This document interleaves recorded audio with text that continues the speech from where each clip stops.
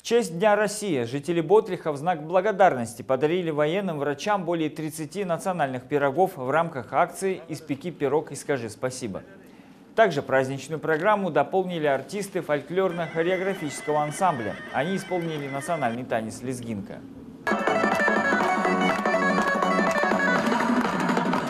В настоящее время более 70 пациентов продолжают получать медицинскую помощь в полевых госпиталях Минобороны России. Развернуты они в Ботрихе и городе Буйнакске.